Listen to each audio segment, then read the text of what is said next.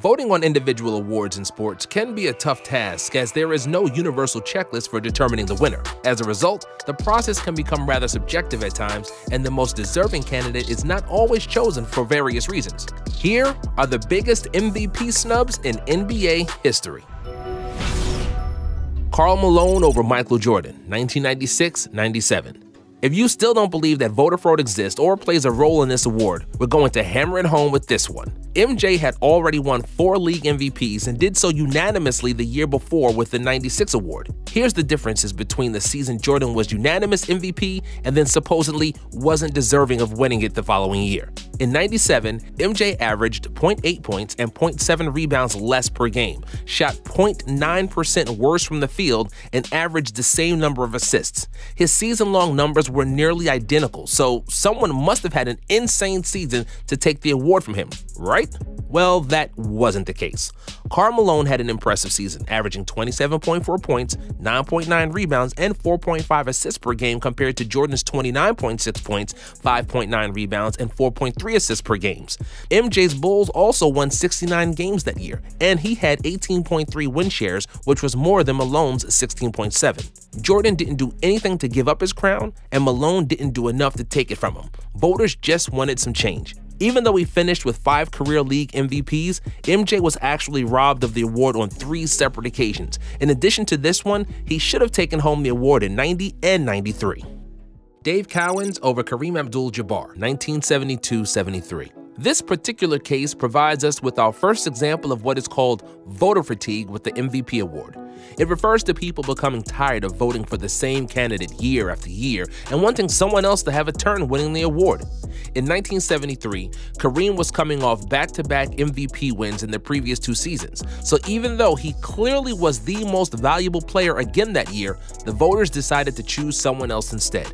Dave Cowens put up respectable numbers that season by averaging 20.5 points, 16.2 rebounds, and 4.1 assists for the Boston Celtics. But these pale in comparison to Kareem's that year, as he averaged 30.2 points, 16.1 rebounds, and 5 assists.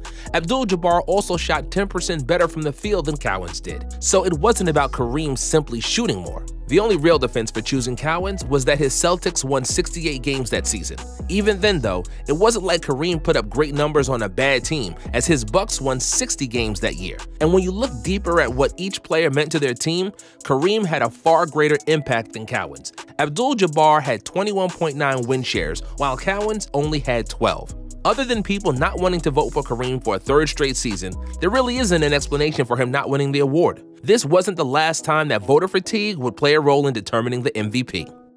Derrick Rose over LeBron James, 2010 11. Here's our second example of voter fatigue impacting the award.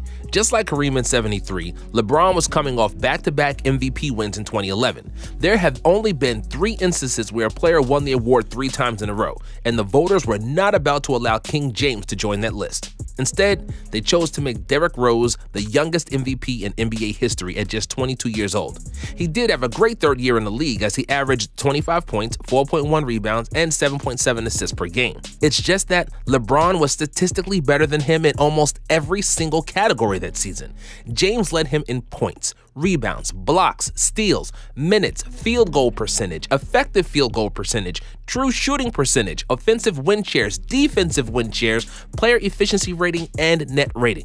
The only things D Rose was better at were his averaged 0.7 assists more per game, shot 0.02% better from three point land, and made 9.9% more of his free throws. Other than voter fatigue, another potential explanation for the award going to Rose could involve the media coverage and public perception of LeBron that season. This was his first year with the Heat, so most people viewed him as a villain and expected him to succeed with his big three. There are plenty of times where LeBron was probably the most deserving candidate, but people got tired of him winning the award or simply didn't like him. Steve Nash over Kobe Bryant, 2005 06. As great of a career as Kobe had, he actually only won one MVP award, and it didn't come until his 12th season in the league. It should have happened two years earlier, though, in 2006. That season, Kobe was in his second year without Shaq, and expectations were low for the Lakers due to their roster lacking in talent. With guys such as Kwame Brown and Smush Parker, Bryant managed to lead them to the playoffs while averaging 35.4 points, 5.3 rebounds, and 4.5 assists. Those 35.4 points per game are ninth all time today, with Wilt taking five of the top six spots. One of the performances that helped Kobe reach that sky high average that year was his legendary 81 point game against the Raptors. Steve Nash had a solid season, averaging 18.1 points and 10.5 assists per game, but it really wasn't anything special. The numbers Kobe put up to carry his team to the playoffs should have earned him his first MVP trophy. If you were to replace Kobe with Nash on that particular Lakers team, it's hard to imagine them still making the playoffs.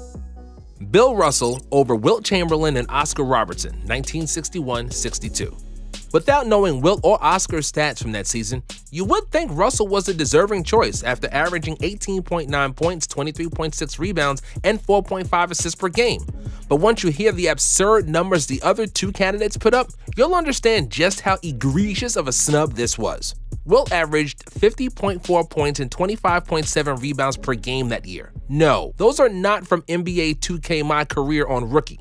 Chamberlain somehow did that over the course of an entire season in the NBA. He also did it in an efficient manner as he was the only MVP candidate to shoot over 50% from the field that season. One would assume that season long averages that will never be replicated would lead to an MVP trophy, but somehow they didn't. Oscar Robertson had almost an equally as impressive season in his own right. The Big O became the first player to ever average a triple double for an entire season, and he did so while averaging more than 30 points a night. That year, Robertson averaged 30.8 points, 12.5 rebounds, and 11.4 assists per game. What Robertson did was so special that another player didn't average a triple double over a season for another 55 years. It's even crazier when you consider that he did it with over 30 points per game, too. It doesn't take a rocket scientist to see that Russell shouldn't have been MVP that season. Which of these snubs do you find to be the most egregious? Do you think the voters actually got any of these right? Are there any other examples that we should have included? Feel free to let us know your thoughts in the comments below.